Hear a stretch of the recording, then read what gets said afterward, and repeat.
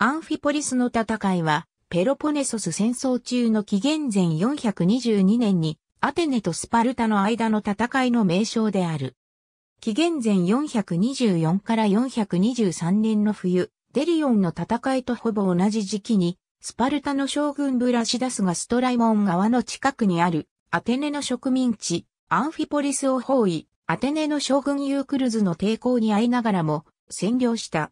アテネとスパルタは紀元前433年に休戦協定を結んだ。休戦協定が422年に執行するとともに、クレオンは30隻の艦隊、1200の重装不評、300の騎兵を率い、アテネの同盟国からの他の多くの軍隊とともに、トラキアに向い、彼はまずトロネとシオネを奪還しました。また、その後、スパルタからアンフィポリスを奪還するために行動した。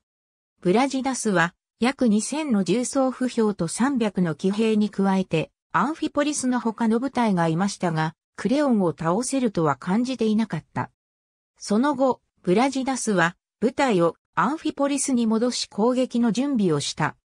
その後、ブラシダスはクレオン率いる軍団の弱点に自ら行った偵察で気づき、兵力では圧倒的不利であったにもかかわらず、攻勢を仕掛け、混乱した敵に対して大胆に攻撃し、勝利を収めた。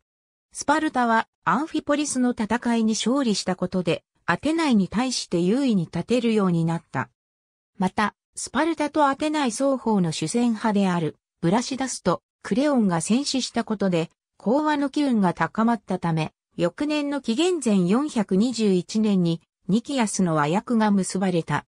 しかし、ニキアスの和約で決められた占領地の返還をアテナイもスパルタも遵守しなかったことや、アテナイに新たな主戦派のリーダーであるアルキビアデスが台頭したことから、再び戦争状態に陥ることになる。ありがとうございます。